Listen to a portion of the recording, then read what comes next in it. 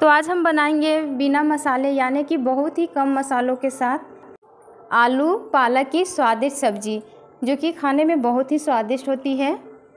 घर में रोज़ाना आप इस तरीके से आलू, पालक की सब्ज़ी बना सकते हैं, चावल या फिर रोटी के साथ। तो चलिए बिना समय को गवाते हुए इसे बनाना शुरू करते हैं। वीडियो पसंद आएगा तो वीडियो को लाइक, शेयर करना नहीं भूलिएगा। सबसे पहले गैस पे हमने कढ़ाई रखा है। अब इसमें दो बड़े चम्मच जितना सरसों का तेल डालेंगे। तेल गर्म होने के बाद इसमें कुछ खड़े मसाले डालेंगे। दालचीनी, लौंग, जावित्री, साथ ही में पाँच से छः लहसुन की कलियाँ डालेंगे। तीन मिर्च को काट कर डालेंगे। सभी को मिलाने के बाद साथ ही में एक बड़े साइज़ के प्याज को हमने बारीक काट लिया है, उसे भी डाल देंगे। प्याज को हम हल्का भून लेंगे। प्याज को हमें गोल्डन ब्राउन नहीं करना है, इसे हल्का हमें भून लेना है। प्याज को हल्का हम इसलिए भुनेंगे क्योंकि यहाँ हम कच्चे आलू का इस्तेमाल करेंगे। तो आलू जब फ्राई होगी तो प्याज भी साथ में भुनाएगा तो इसीलिए प्याज को हम थोड़ा कम भुनेंगे। प्याज देख सकते हैं मैंने बहुत ही कम भुना है, साथ ही में मैंने आलू डाल दिया है।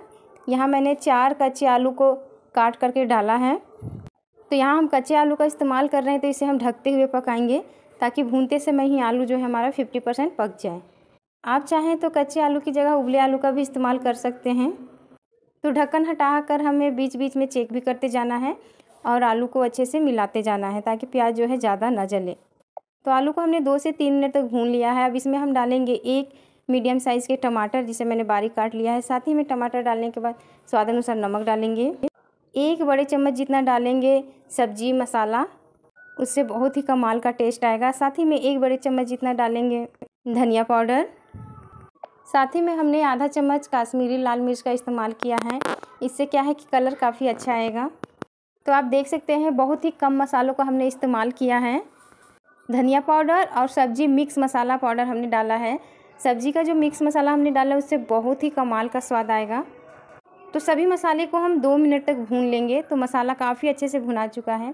तो यहाँ हम लंबे स्लाइस में कटे हुए डालेंगे बैगन। एक बैगन को हमने लंबे स्लाइस में कट करके डाला है। बैगन को काटने के बाद इसे हमने अच्छे से धो लिया था। तो साथ ही में हम आलू के साथ इसे मसालों के साथ अच्छे से भून लेंगे। बहुत ही जल्दी बैगन जो है गल जाते हैं। तो इसे हमने एक मिनट तक भून लिया है। अब इसमें हम डालेंगे पालक। यहाँ हमने 500 पालक का इस्तेमाल किया है। पालक को हमने काटने के बाद अच्छे से धो लिया है। एकदम फ्रेश पालक है। तो पालक को डालने के बाद इसे हम एक मिनट तक कंटिन्यू चलाते जाएँगे। सभी मसालों के साथ इसे हम मिला लेंगे। तो बहुत ही कम मसालों के साथ आलू, पालक, बैगन की आप ये रेसिपी घर में रेगुलर इस्तेमाल कर सकते हैं।